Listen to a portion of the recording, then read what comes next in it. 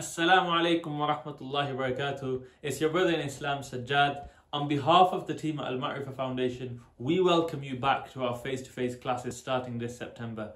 Alhamdulillah, we have both Imam Abid, Ustad Rehan, covering key lessons about connecting with the Quran, starting with the sciences of the Quran, and then also looking at selected verses and how we can implement the ayatul ahkam, the verses of regulations and rulings, and selected verses of the Quran. Just as Aisha radiallahu anha said about the Prophet sallallahu alaihi wasallam, kana khuluquhu quran his character was that of the Quran.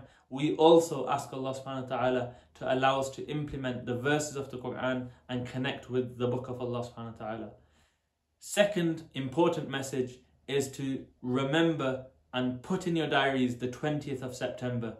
We, for the first time in a long time, we have our first ever six month course covered by our very well known, mashallah, Imam Abid, looking at the Arabic language, its gems, its jewels, its grammar, things regarding the Arabic language in a six month long course about an introduction to the Arabic language.